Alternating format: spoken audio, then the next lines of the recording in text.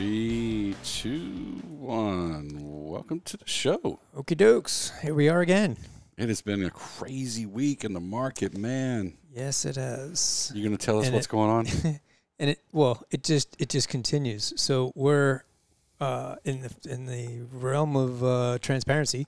We're doing the show on we're recording the show on Thursday Night. Yeah. night after the close. So uh, there's still one more day of trading this week, and so when we get to the weekly charts later, you'll know that it's not the final number for the week. It's through Thursday. Yeah. But you know, we the all the member video uh, news Newsletter. uh, newsletter, all that stuff will still be That'll- Sunday. Right. That'll Yeah. be through the week. Sometimes we have to do the show at a different time, just because we're roaming all around. But we always try to do it as late in the week as we can. Yep. So the the so today the market crashed, right? Uh, apparently, based on uh, Facebook hmm collapsing. Uh, but if you, you know, it took the rest of the market down with it. Uh, it's not just a matter of people selling Facebook; it took everything else down with it. Um, so the market closes, everything's everything's way down, and uh,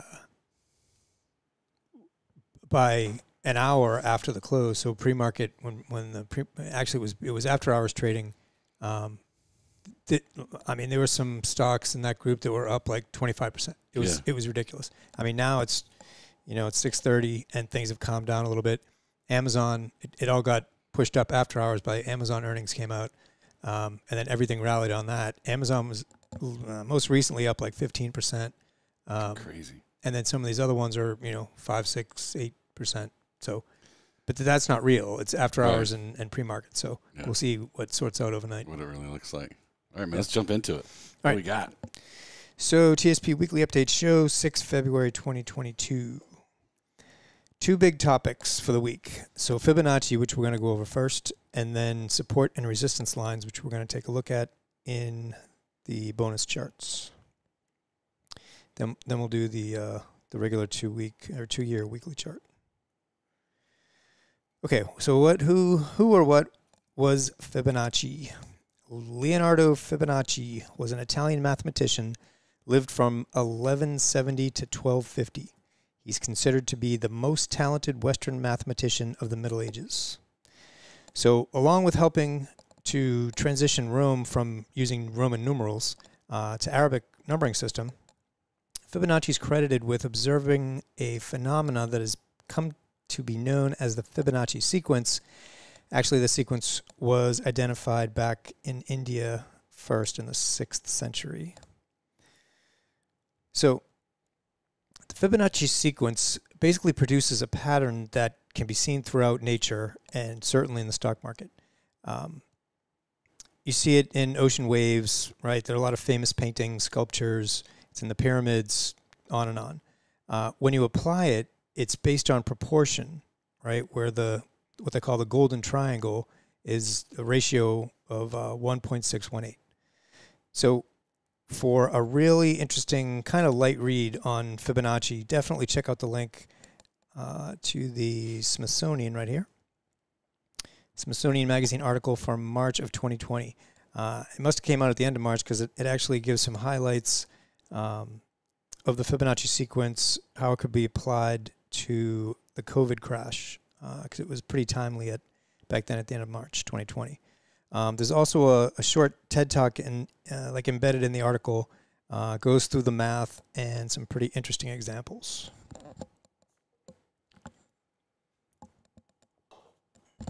Okay. So, how does the Fibonacci sequence apply to us as TSP investors? So, stockcharts.com has a Fibonacci tool, helps us draw support and resistance levels as well as uh, make projections or extensions um, with Fibonacci levels. So, we can use retracement levels to identify potential support areas, uh, and we can use extensions to give us a target um, to where we might expect either resistance or a potential top. So 38.2, this level, and 61.8. In this case, it's a retracement because the, the price would be decreasing to these levels, right? An extension is when price when you're trying to predict where price is going to go up here. So 38.2 and 61.8 are the most common retracement levels. 50% is not actually a Fibonacci number, but it gets included in the tool because uh, 50% is pretty much the level where uh, it's very common where people just throw in the towel. That they say, I've lost half my money since the, you know, whichever point here. If, if we took the bottom at the COVID low, uh, you know, 3,500 or so, if you, if you rode this out, you lost half your money at that point. And a lot of people say that's when I'm out. And that's a lot of times where, where the bottom is. So 23.6 is a Fibonacci number um, that we can find support at. It's not one of the most common ones, but uh, in, in our case, it's good because ordinarily, if price retraces only to that 23.6 level, then it implies the the longer trend um, is extremely strong and it'll it'll remain in place once the correction's over. So the idea is that this is the long bull market that we've had. If we only get a 23.6% retracement uh, and that low holds, then then you know the, the, the strength of the underlying trend takes over and we and we keep going to new highs. That that's the idea. Okay. So that's kind of how you use the Fibonacci retracements. So if we want to add the Elliott wave extension to the Fibonacci uh, sequence, how would that look? So we got the bottom here after COVID. We got one, two, three, ABC is four, five. So that's our first impulse wave. That gives us a one. We have an ABC for a two. Then we got a one, two, very extended three, ABC for a four, and a five, right? That brings us to a three. So we have five waves within wave one. We get a whole bunch of waves within wave three.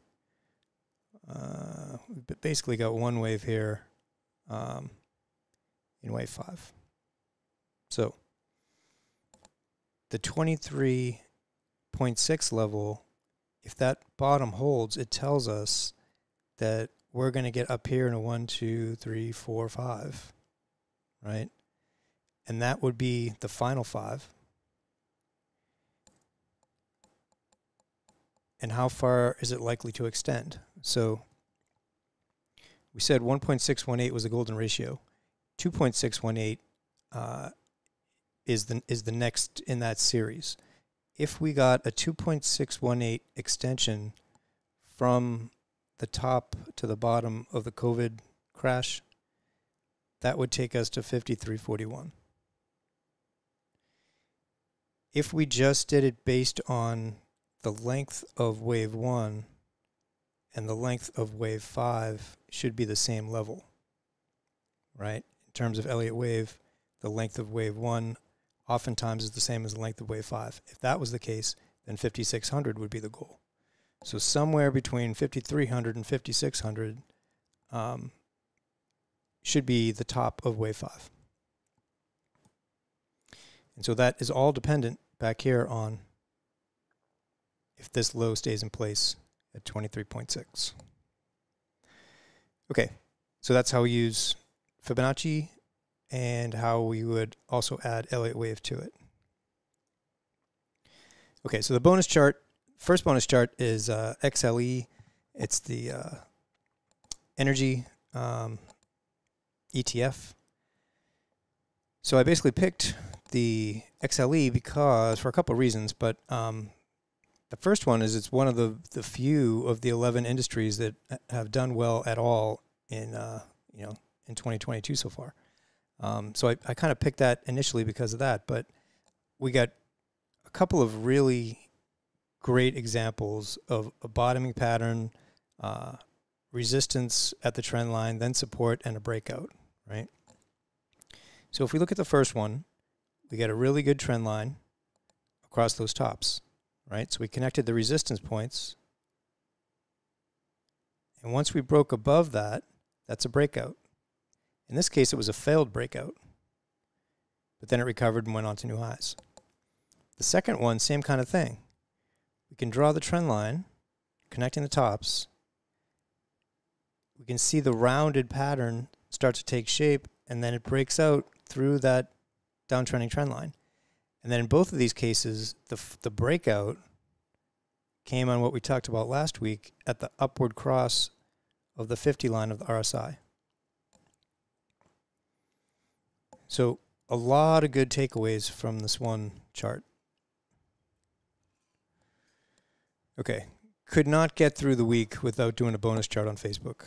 Um, you know, a lot of people lost a lot of money today. I think the the headline was, uh, um, what's his name? I want to say Elon. It's uh, Zuckerberg. Zuckerberg lost thirty billion in in personal net worth today. That's not bueno. No, He didn't feel it though. no, he didn't feel it. And if he has a guy like a half decent chartist on his payroll, Yeah. see this chart? I mean, if you if you look at it and you just draw this the clear resistance here, resistance, resistance here, right? Support, support, support, support, support. So the value of that 300 line, right? Pretty significant. So now we get down here. You know, we have we have this big run in Facebook. Then we have this huge bearish engulfing candle. It engulfed. Right here's the, the bearish engulfing candle. It's the red, the red day, the red week. It engulfed two and a half weeks of price gain. Right, let me zoom in here. You can see that the reversal candle absorbed more than two and a half weeks of price gain. Um, that's a huge red flag, right? So the market continues down from there, or the, the Facebook rather continues down from there. Approaches that th- 300 line, kicks back up for a couple days, comes down. Now it does test that 300 line, kicks back up, has a, a lower high here, and a huge reversal candle right? We had gotten up during the week all the way up here almost to 360 and then all the way back down by the end of the week to below 340. Huge huge reversal candle. And then we come down and test that 300 line again 2 weeks ago. Last week we were right on it, but intra week we got below it, right? There were a lot of people making a lot of money selling Facebook short at that point right there. Um, no one was gonna try to anticipate a 25% loss in one day. I mean, this that whole move down, even though it's it's a weekly chart, that move all, virtually all of it happened today. Um, so no one was anticipating that. But once that support level was broken on Facebook, that was it. Uh, interestingly, it's actually below the bottom of this triangle where it broke out the first time. Right? So the bottom of that triangle we're we're below we got today we got below the bottom of that triangle. Um, that's not that's not good for Facebook. not good at all. Okay. TSP funds. Boom, boom, boom. Just rolling along, man. Rolling along. I know. I'm waiting for somebody to ask me a question. And, uh, I'm on the wrong uh, webinar for that, apparently. All right. So, uh, two weeks ago, we dropped below the 20 week exponential moving average line. We've been talking about how we've always, since the COVID low, we've always gotten support at this line until two weeks ago. Last week, intra week was lower, right? But we've rallied and finished uh, on Friday. As I recall, it was the last couple hours on Friday, pushed us into the green. So we finished up for the week. This week started off pretty strong, got really strong because we're up here above that uh, 20 week exponential moving average line for some amount of time, days within the week right? So that that that was good. If we could have stayed up there, uh, this would be a much more bullish chart, but we didn't. So as of again Thursday night, we don't know what's going to happen tomorrow, but as of right now, we have a big reversal candle going on, um, and it came up and hit resistance at the the 20 week line and rolled over. So um, it doesn't look good right now. S fund, honestly, not that much has changed. Uh, it's in a collapse. The next support of any kind is down here at 117 or 1700. Um, so I fully expect the S fund to continue down and hopefully find support there at 1700. Uh, much like the C fund this week so far, right? Four days into the week, we got a big reversal candle. Uh, it's still higher for the week, but that reversal candle is not a good sign. iFund. Again, iFund's been holding up uh, better than the C and the S, but it's certainly in this, you know, long-term topping pattern. Um, as of Thursday night, we are above that 75 level, that 75 support level we've been talking about a lot.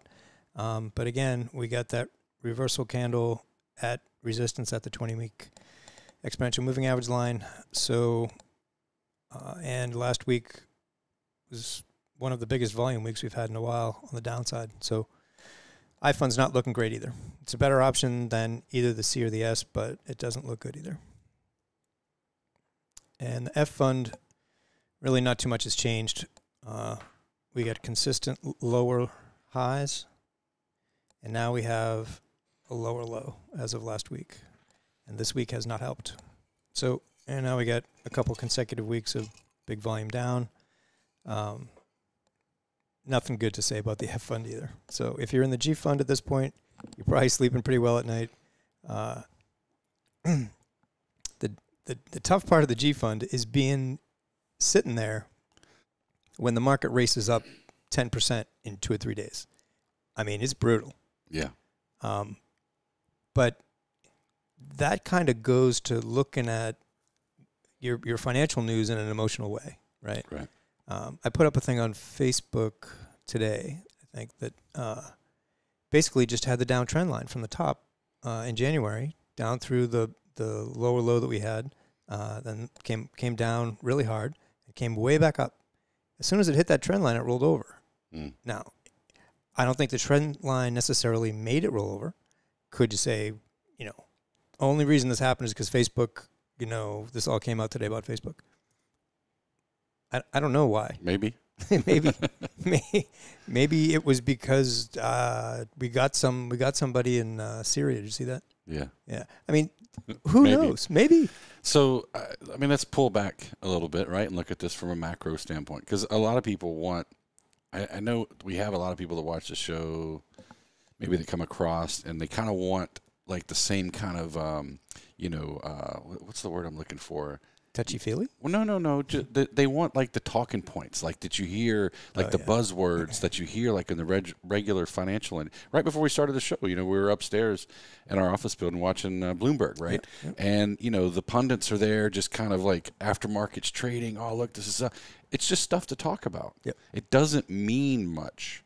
What what what you have to do, especially in you know retirement accounts and specifically in TSP, Right. pull back. Yep. Look big picture. Look at big trends. And so, to your point, that if tomorrow we wake up, or Monday, or Tuesday, you know, and there's these rockets up and these, de- you know, uh, Yeah. well, that's just day trading that we can't play, No, you can't play in that game. right? So, with all that said, though, I mean, what what are the, you know, and I know we kind of hit on it here when we're looking at the two-year weekly charts, but, you know, what what what do you what do you see the trend? Where's the trend going right now? Are we are we have we seen enough data to kind of give us an inclination of where this is headed, or we still just got to wait it out? And you're and you're looking at me, you're like, I don't have a crystal ball, Conan. I don't, but I actually I already wrote the newsletter Yeah. for the weekend, and uh, something happened yesterday. Mm. Uh, you're gonna have to go read the newsletter to find out.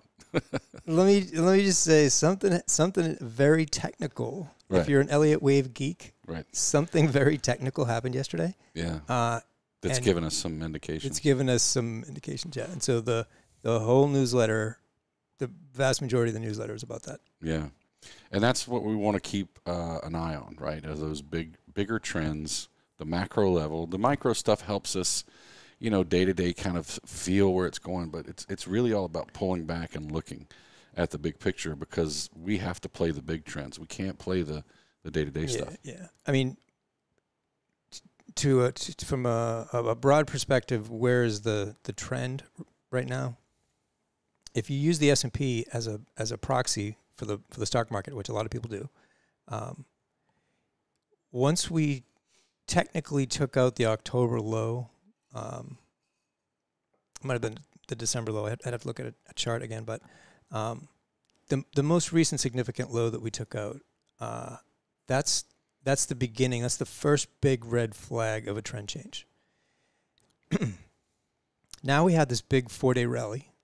Um, if it continues and we do some kind of impulse wave and, and, and we go higher, um, great. if we don't go above the previous highs and we roll over, now we have two top right lines we can connect and two bottom lines we can connect. Mhm. And now we have a down channel and now we have a trend change. Yeah. Yep. And that's what we're going to be watching. Yeah. All right, guys. If you had any have any questions about the show today, wherever you find this, YouTube, Facebook, wherever, um, shoot us some questions in the comments. You know, uh, we love getting them, and we try to answer them as quickly as possible. Uh, sometimes it takes us a day or so to get back, but we do try to get back to them. We appreciate you guys watching, and if you like what you're hearing, share it with your friends. Definitely. Uh, again, you know, our focus on this show is to educate. We try to give you a little bit of analysis, and most of that analysis is is is meant to try to show you, you know, how to do this stuff. Right? If you really want to dig a lot deeper, uh, you know, subscribe to our, our website, and we we dig in a lot deeper every Sunday. Jerry kind of takes a wrap up of the week and and really dives in a a lot more than we do here on the show. Absolutely. All right. You guys have a great week. We're going to do our best to do the same, and we will see you later. So, want to say alligator, but I don't want to be dad joke. That's bad dad joke.